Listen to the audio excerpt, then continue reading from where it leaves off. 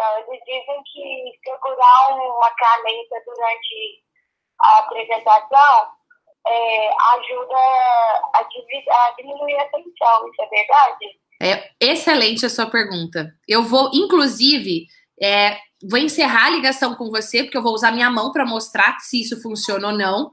Mas eu já quero te dar os parabéns pela sua pergunta, porque ela é maravilhosa. Ó, beijo especial para você. Júnior, me dá canetas. Me dá uma caneta daquela lá que você sabe. Não, quero essa daqui. Quero um lápis. Pega um lápis para mim, por favor. E pega aquela caneta lá assim, ó.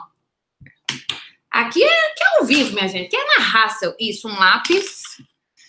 Instagram acabou. E essa caneta assim, ó. Isso. Vamos lá.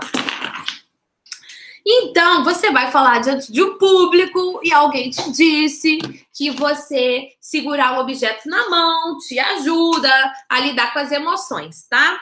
É assim, ó.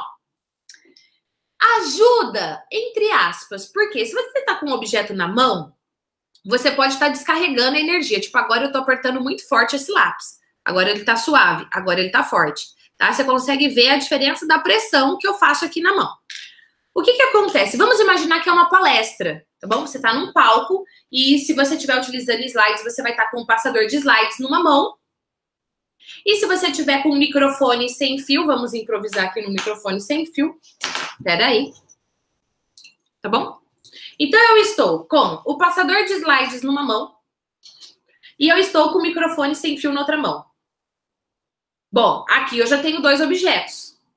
Eu não estou treinando você para fazer só apresentação quando você não vai usar microfone e quando o público é pequeno. Eu estou treinando você para arrasar diante de qualquer público. Ah, Gi, olha só, eu tô com o passador de slides na mão, mas eu tô com o microfone headset, eu tô com essa mão livre.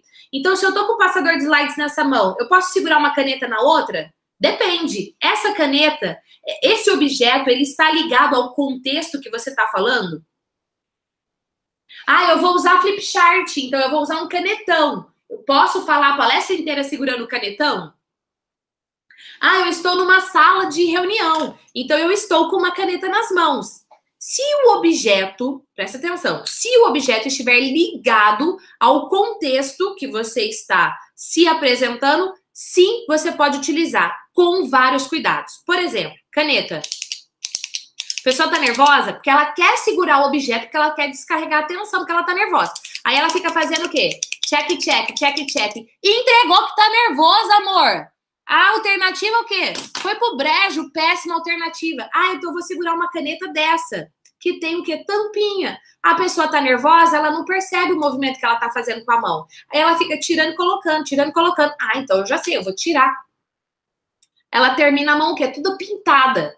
Por quê? Porque ela fica movimentando aquilo, porque ela tá descarregando a atenção. Ah, então tá, eu vou segurar um lápis. Ou um lápis, se ele estiver ligado ao contexto, é melhor do que uma caneta. Ah, mas eu vou usar o flip chart, então eu vou usar um canetão. Cuidado para não ficar rodando o canetão, cuidado para não ficar abrindo e fechando o canetão. Tem várias coisas. É o seguinte, se você vai utilizar um objeto, esse objeto não é para você descarregar a atenção. Esse objeto é porque ele está linkado à sua apresentação e vai te ajudar.